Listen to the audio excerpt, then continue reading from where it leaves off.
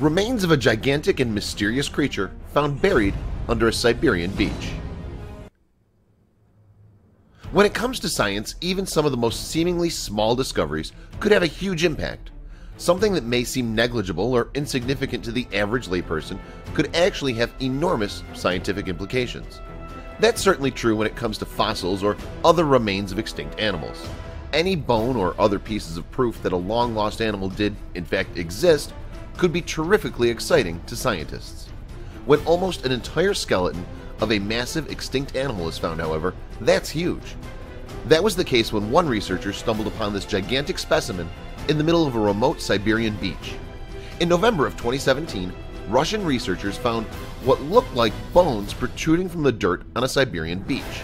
After some digging, it was discovered to actually be part of an entire skeleton. Upon first glance, it almost looked like the remains of a mythical monster.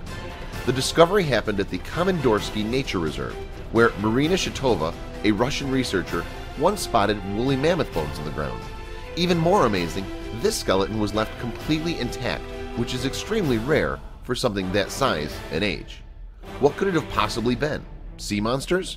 At least ones of that size couldn't actually be real, could they? Once the truth behind the bones became clear, they couldn't believe what they'd found. It was a Steller's sea cow.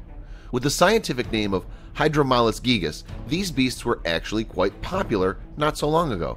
They dominated the Commander Islands, a series of 17 islets and islands in Russia's Arctic waters in the Bering Sea. The exact date when the Steller sea cow became extinct is unknown, but experts believe it was sometime around 1768. Because their hides and meat were so valuable, they were overhunted until the end. In fact, the Steller sea cow may have been the largest mammal of its day. All told, it took 4 hours and 8 people to completely exhume the skeleton. Even without a number of vertebrae and parts of the skull, the remains reached 17 feet. Adult Steller sea cows could actually reach up to 25 feet in length and weigh anywhere from 8 to 10 tons.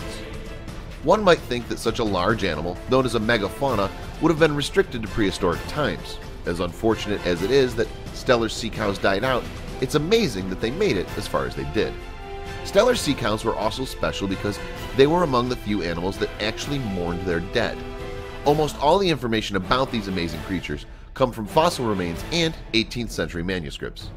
These special sea cows received their name from George Steller, an 18th century naturalist who was the first to describe the animal.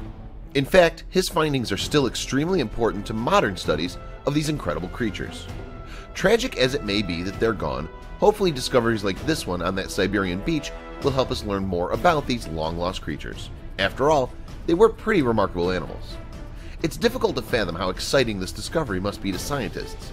The Steller sea cow may be extinct, but their legacy lives on. Share this fascinating information with your friends below.